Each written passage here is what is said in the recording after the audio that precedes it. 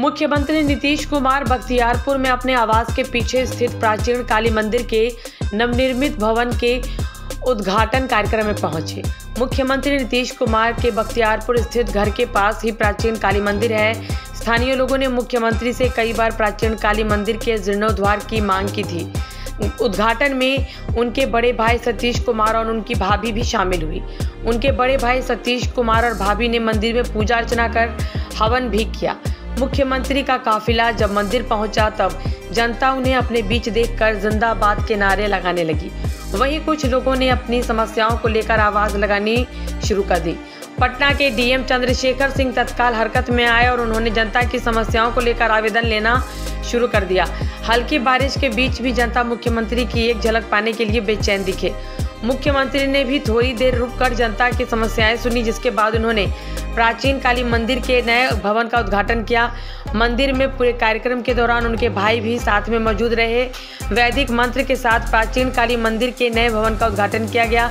मंदिर भवन के उद्घाटन के बाद मुख्यमंत्री का काफिला पटना के लिए रवाना हो गया।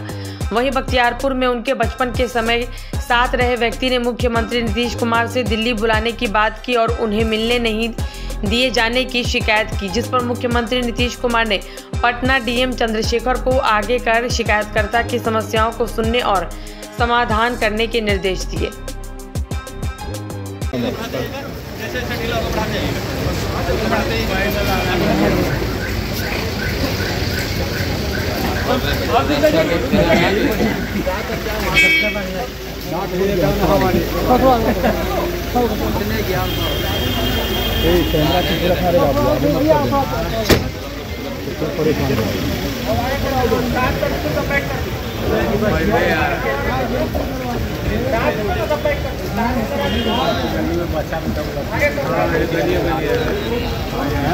तो आप तो ज़मीन है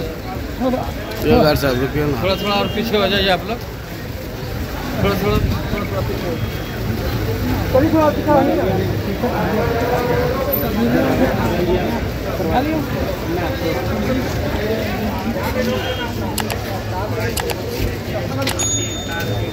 यहीं से देखना है।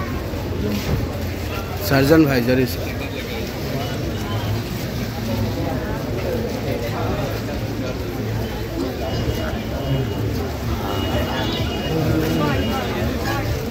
या याद है। नीतीश कुमार। जिंदाबाद। नीतीश कुमार। जिंदाबाद। हम लोग भगवान हम लोग का भी सुनिए सर। सर हम लोग का भी सुनिए सर। सर हम लोग का भी सुनिए सर। हम लोग का भगवान आप ही है सर। सर सर सर पीछे सर। पीछे पीछे थोड़ा सा। पीछे पीछे पीछे। आवेदन दे दीजिए। दे दीजिए आवेदन दे दीजिए। दे दीजिए आवेदन दे दीजिए आवेदन दे